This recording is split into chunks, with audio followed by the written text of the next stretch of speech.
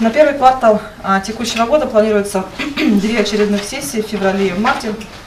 Основные вопросы в плане обозначены. А, На самых основных хотелось бы остановиться, чтобы вы понимали, что вам предстоит рассматривать довольно-таки важные документы в этом квартале. Первый вопрос будет рассматриваться уже буквально сегодня. Это рубки сноса зеленых насаждений на территории Ачинского района и оплата их компенсационной стоимости. Василий Васильевич расскажет, насколько важен этот проект и нужен.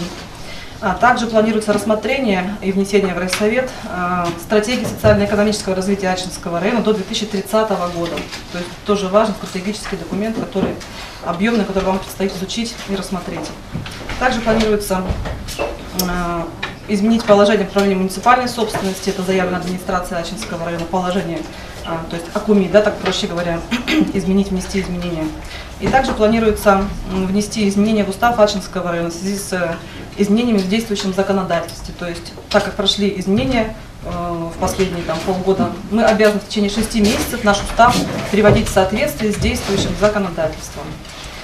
А Также а, подчеркну, что на ближайшей сессии, которая планируется на 12 февраля, мы планируем сделать э, депутатский час. То есть, ну, мы вам дали время немножечко войти в вашу депутатскую, так скажем, статус, понять, немножечко освоиться и ну, начнем, начинаем вводить такие вот э, нормативно-правовое обучение. Будет три вопроса обозначено по заданным вами вопросам ранее. То есть вот поступал вопрос от депутата, потому что необходимо рассмотреть вопрос по основным принципам формирования бюджета Ачинского района. То есть не все понимаете, как он формируется, на каких э, программах, как он базируется, как он утверждается.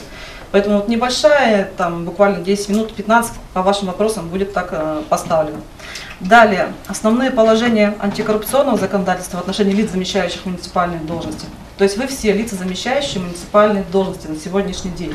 Э, Это довольно-таки обязывающие положения, поэтому вы э, обязаны придерживаться положений антикоррупционного законодательства, в частности конфликта интересов.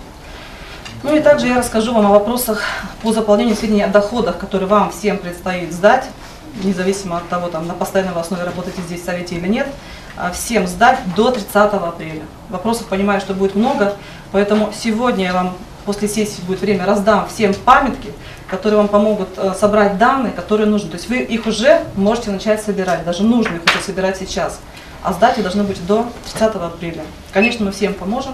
Приходите с вопросами, звоните, и чем раньше, тем лучше.